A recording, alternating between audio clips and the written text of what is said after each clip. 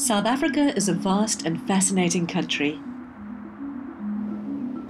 At the southernmost tip is Cape Town, a beautiful city that's become one of the top tourist destinations in the world. People come to enjoy the sunny weather, the clean beaches, the restaurants, and the abundant wildlife. But there's another less visible side to Cape Town that's less affluent and glamorous. Many people still live in crowded conditions in areas called townships, inherited from the previous government that forced apartheid on South Africa. Apartheid separated people according to racial categories.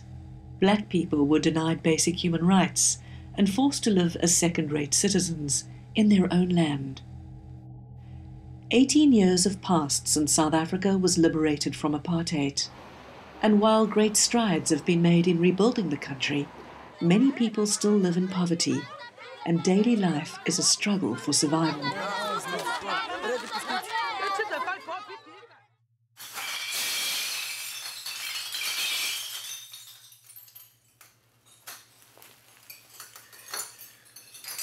And like in many big cities, we've become a throwaway society.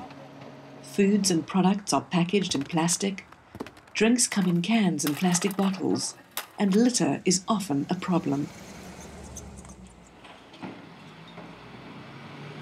In the more affluent areas, there's a sophisticated refuse collection service. But in poorer areas, overcrowding is often a problem, as well as poor service delivery. An hour outside Cape Town is an area that's home to three very distinct communities. Masiphumelele, Ocean View, and Scarborough. Although they are geographically close to each other, they are in fact worlds apart, socially, economically, and culturally. It's always good to be around. Yeah. But three artists have crossed these divides. Emmanuel lives in Masiphumelele. Monique lives in Scarborough and Marius lives in Ocean View. In the normal course of life, these three people would probably not spend time together or get to know each other. But they and a number of others have crossed the physical and social boundaries to form a family and a movement that uses rubbish and litter as its raw materials. The very items we throw away they transform into beautiful objects that bring in a much needed income. So this one is made out of plastic and the inside is made out of a a child's motorbike, you know those black kids motorbikes. They always have the wheels falling off and you can find loads of them at the scrapyard. What's so special here is the relationship we have uh, with with this rubbish dump. Um, our topic for today is for the week um, wiring. They're working with wire art. I'm showing them some art and skill how to make um, things out of wire work, but we concentrated on plastic, combining the substances and the material together.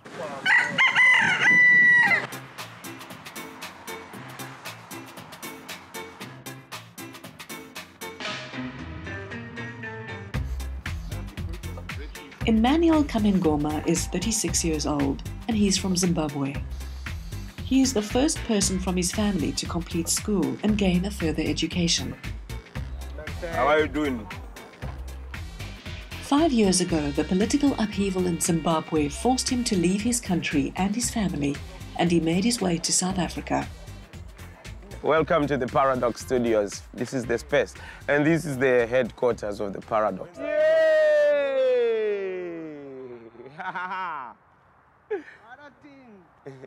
So the paradox virtually is like a talent house to achieve people who can use their own hands and their own skills to generate wealth. The life right now, I'm not sure. I'm barely surviving. Life is really difficult. I really um, so at one time divorced myself with everything else because I said, I've suffered enough, I've prayed enough, this life is not for me. I reconsidered my life and like I was born again. And then I said, I will be an artist because now I'm choosing out of love consciously. I'll do art, I'll do music, and I'll do teaching. Maybe I can make something out of this. What, what can we make really? I'm not even sure. You got to recycle your mind with a new design. Yeah, something like this. I think, you see, with stuff like this, I think this is cool.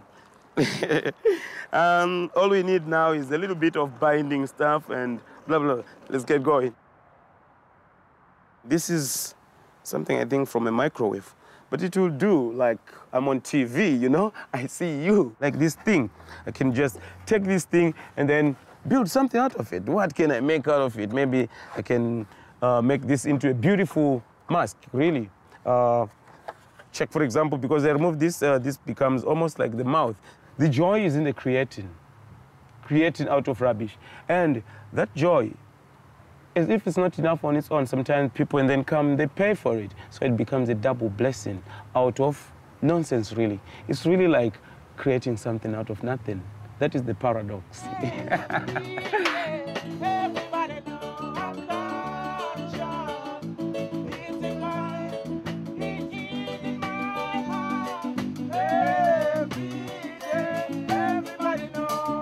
Basically, sometimes it's nice not to, when you're working in big structures, to look at them because it's lots of materials you fit in it's this on its own and you've got to remove it. Maybe it doesn't work. Maybe you've got to use this. So you just have got to play around. That's cute.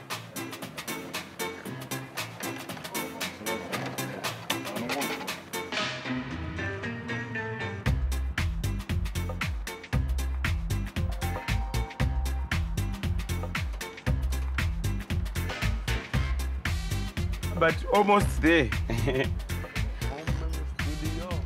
As it is coming out. Um, the only thing now that needs to be done is reinforcement and painting.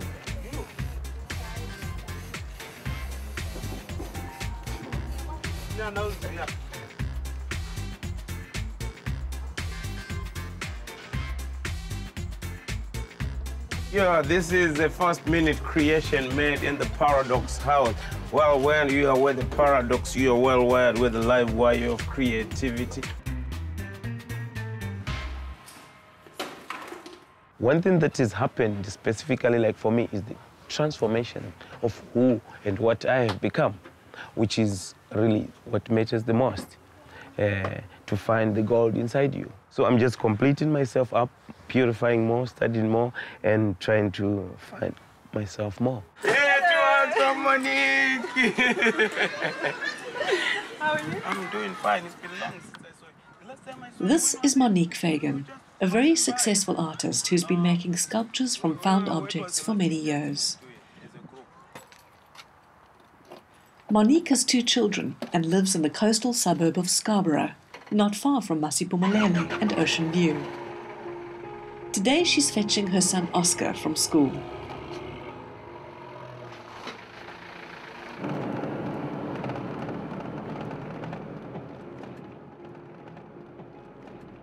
In 2003, Monique was approached by the Kommetjie Environmental Action Group, known as KEAG, to train a group of women in using junk to create art. Okay, you fine there? Okay. Once I close the door, you stay in there. Yeah, okay. When I first moved to Scarborough 15 years ago, this was quite a remote um, community. There were very few people actually living here, and it's an hour away from Cape Town. And the people that lived here had, were people who wanted a quiet life. Um, but at the same time, I felt a sense of loneliness um, because it's a very affluent community, and I didn't really feel an affinity with the people that were living around me. And the work that I did with KEAG gave me an opportunity to interface with people from Masiphumelele, which was great. It was like a lifeline for me, really, because I found people who were like-minded. So we would share our dreams in the mornings, and we compared our religions and our approaches to life, and we shared recipes and advice about our children. It was mainly women. And that kind of provided me with access to Masiphumelele, which it wouldn't have been a community that I would have gone into in the normal course of my day-to-day existence. and also gave people from Masi an opportunity to come to Scarborough because there was a personal connection with somebody.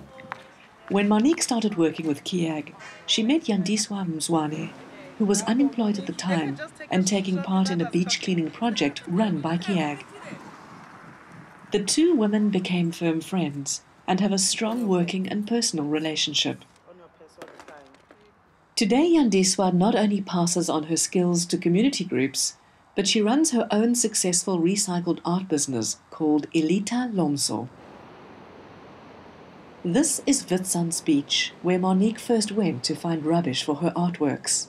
It is also where she met Jan Yandiswa and the beach cleaning team, the place where these collaborations began. Today, Monique and Oscar visit Witsands Beach to see what treasures they might find. This,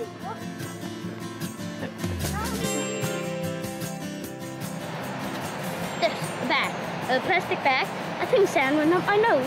This whole place used to be um, a dump before. And the, the water was full of junk. And the rocks were covered in junk. Up here, there, there was no plants, just junk.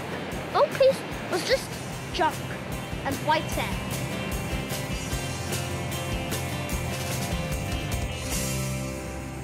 So originally, when we started in the in the project, I took a pile of stuff that I had found on this beach to like introduce the concept to the group of women that we were working with, and they actually thought that I was completely mad. But I think that the real magic happened when we made the first. There you go. Put it in the bag. We made the first bead, bead screen curtain. Like we used the plastic lids that we found, and we strung them together, and we sold the first screen that we had made for 400 rand and a huge squabble broke out over a bag of plastic lids that had been collected from the beach. And so, and the argument was that those were my lids. I picked up those lids, those were my lids. And someone else had taken those lids to take home to make um, a bead screen curtain to sell. And people were very angry. And I said, This is amazing. This is exactly what we're trying to do. I said, We've actually transformed these lids into money because they were worthless before. Nobody wanted them. They were throwing them away and leaving them on the beach. You picked them up, and because you can make something out of them now, they've become a resource, they've become valuable. So that's a special kind of magic. I didn't really believe in it because I was even shy about it. Like, okay, we'll make this. It sounded as a good idea, but exchanging to people, to customers, uh, especially white people, if I can put it that way, that I will be this lady saying, okay, I'm selling this mirror, and then this is like yogurt, sunlight stuff. What, what do you mean? And uh, fortunately enough, people loved our products. They loved them so much. When I was walking on this beach and looking at stuff that had been thrown away since 30 years ago, like an accumulation of stuff from these communities around this beautiful, pristine area, that, and all this stuff that people had bought and thought was important in their lives, once that person has died or once a certain period of time has moved on, that, that stuff it becomes completely irrelevant. It is actually really of no use to us. And we've produced as a culture Mom, in the last one piece. 50, good, good, pick that one up. In the last 50 years, we've probably produced enough stuff in the world to last every, to provide for everyone who lives on this planet. Beautiful. And it just seems unnecessary to kind of keep remaking this stuff because I mean this is a perfectly good bottle.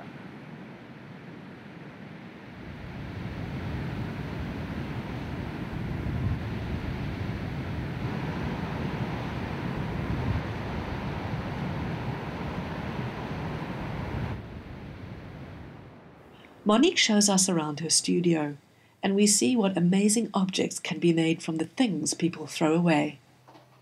This is the kind of stuff that I think finds a like a midway point between the retail stuff and my own work, which is more about found objects that are not really reproducible.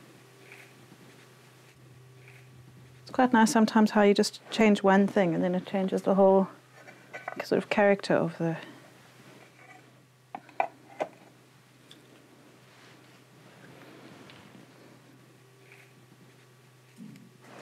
This is I don't know, we've been having a debate about what it is. My daughter thinks that it's a wild dog, and I think it's a deer. Some people think it's a rabbit, but basically it's three plastic bottles that have been stapled together. There's a part of me that rebels against the idea that rubbish is something bad. And I suppose that what I'm doing by working with rubbish is I'm showing the potential that rubbish has. Just in the same way that people who are not useful to society are considered to be worthless, this stuff is thrown away because it has no immediate short term benefit to the person who has bought it. And it gives me a sense of satisfaction to reclaim those things. They still have value.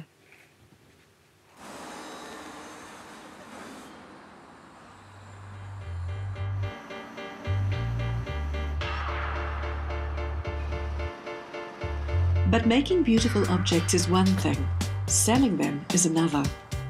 One shop in central Cape Town called African Image has been supporting the found object artists from the beginning. That's rather wow, wow, wow, wow. Look at the back. My goodness. I like that. That's a special occasion. Yeah, very. It just my head. Wait. Harry has provided input and customer feedback and always welcomes business from this group. I swear, I will, I will wear this at a party. So then you have to order one. I find it very interesting in terms of the, the functionality of the, you know, like garbage stuff, where things that you don't even think that you can you reuse it. It's like a fresh idea all over again. So that's what makes people really, you know, excited about it.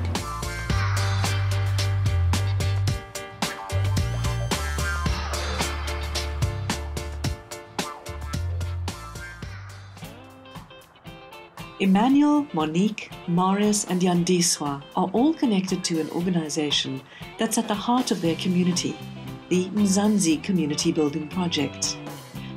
They coordinate workshops and training, and once a year host a public celebration in the form of the eMzantsi Carnival, where everyone gets involved. So we work on, we work making decor for festivals and we work on the local carnival and the Cape Town Carnival and the Gauteng Carnival. Carnival actually creates a reason for people from different communities to come together and collaborate. So in a way it creates a gateway into communities that you might otherwise be unfamiliar with and that's quite a special thing. Um, I mean the people in the group say that they feel that they are ambassadors for a different way of living in South Africa. So I think people have discovered that actually being different from one another is interesting and not scary.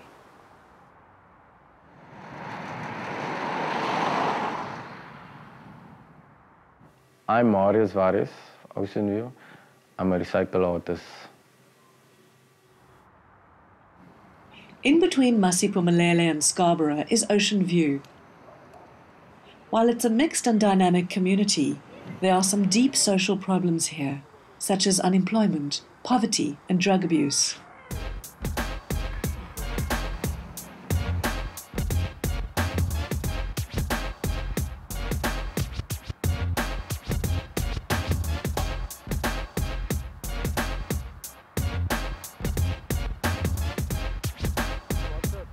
This is where I grew up. It's called the Seven Sisters in Ocean View. The flat's names is all ladies' names. It's Sonia Court, where I grew up, Gail Place, Gloria Place, Francis Court, Maria Court, all the courts, Frida Court. That's all the courts you'll find in Ocean View, yeah.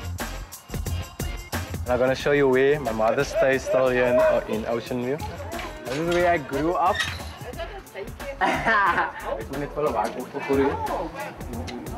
Yeah. Very proud of him. very creative in things, but this is my he must visit his mommy more. I don't hear him hear much of him. I'm too busy. Papa Teresa. Puff, puff, toot, toot, off we go.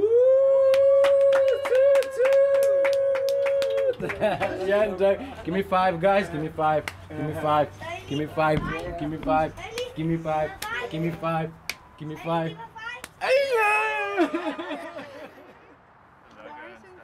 Okay, see you ladies. Marius grew up in this often harsh environment and is deeply active in his community, determined to help educate and uplift people. Marius is a graduate of the Junk Anew program and now runs workshops as part of the eMzantsi community building projects with single mothers from Masiphumelele and a group of disabled people from Ocean View, teaching them how to work with found objects. We're going to Masiphumelele, the pink house. So basically we're gonna work there today. We're gonna be doing um, wire work. The, the topic for today is wire work, how they can, what they can do and make out of wire work. But each and everyone got homework from me to do an animal. They must make an animal, a three-dimensional animal with um, body parts and eyes and ears and mouth and teeth.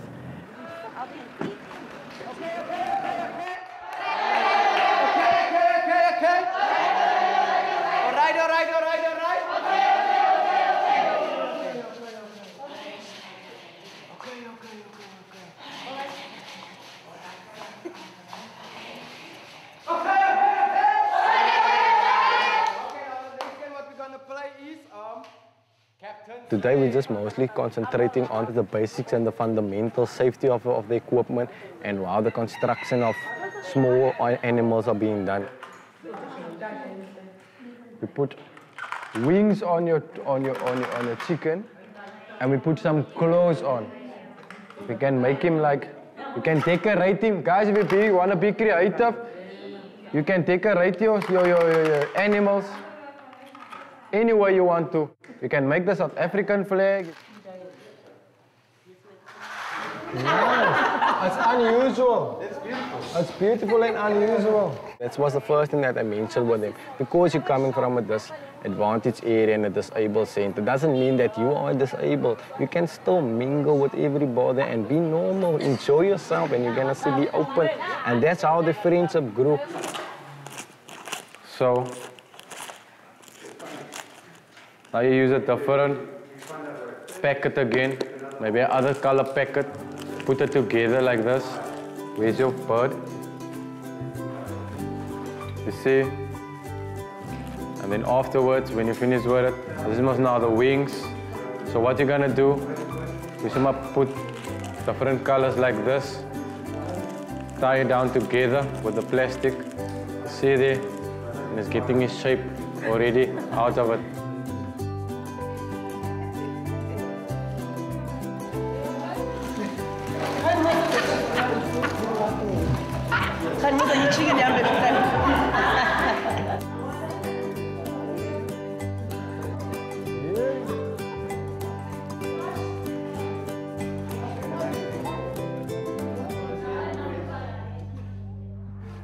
A, a, community outreach center. We're trying to develop this center and make it into a youth center where this learning, skills and development is going to be done here. But we're struggling with funding and getting place together. And from scratch and waste and material that we've got, we've made this place that it looks like this now. Sean is my, my partner. He's my, my, one of my junior coordinators. He also helps me. He's also a facilitator in arts and crafts. Marius used to work for a chain of supermarkets, but after much consideration resigned to go into the arts and community building on a full-time basis. And as you can see, this is junk material that we get from the dump or from our community. Broken toys and whatever we can get. And we're just combining the, the materials together like plastic and iron. And there's even some raw material as well here in as well. As you can see, this is a vuvuzela that is used the old way to sell fish. Right? So what the people used to do, they would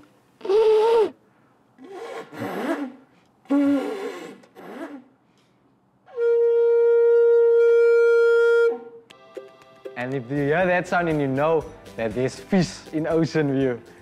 As you can see, people's reaction towards our, our workers. Wow, is this really? What is this? Can you see my head? Big production. Huh? Can you see my head? Is the head moving? Yeah, it's moving. So I believe working together in a team, the more brains we've got, the better the product, the end result will come. So Oz Vibration is planning to renovate this whole place into a youth center and a training center where youth of the community and the surrounding areas can come into to the arts and also use it as a tourist destination route. I, I sometimes I get angry because I just see people sitting around in my community and I get frustrated because of unemployment rate that's going around in South Africa and it's growing and growing by the days. So I decided, nah, training these people, showing them what they can do out of waste or doing something. It's a way of keeping them away from the negativity because if I'm not going to do that, then the negativity is going to swallow them and going to go deeper into negative vibes or the wrong things. The Indigenous Garden of Eden, established in 24th of May 2011. And the coolest part of we as the youngsters and as me and Sean, we passing the passing it on to the next generation, you see, so that they can also become aware and listen and do things in the, so that they can also contribute to saving our ecosystem and our, our planet as well. So with that, we can create masterpieces. That is the junk and the material that you get in the community. So we use that to create the wonderful work that you saw, that we just showed you today.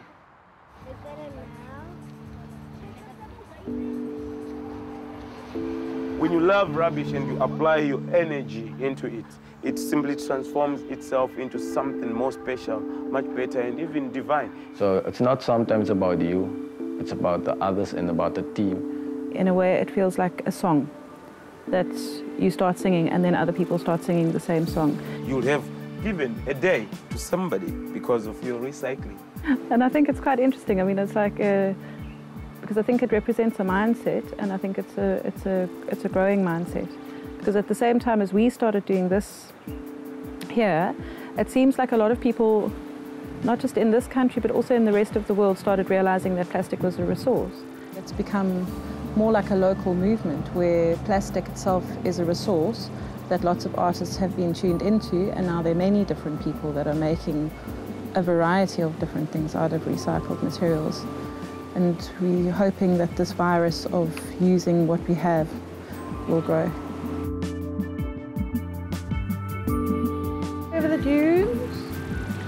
Um, I got two trails. Okay. After it. So we can find our way back again. Hey? What is that? I don't know. Something.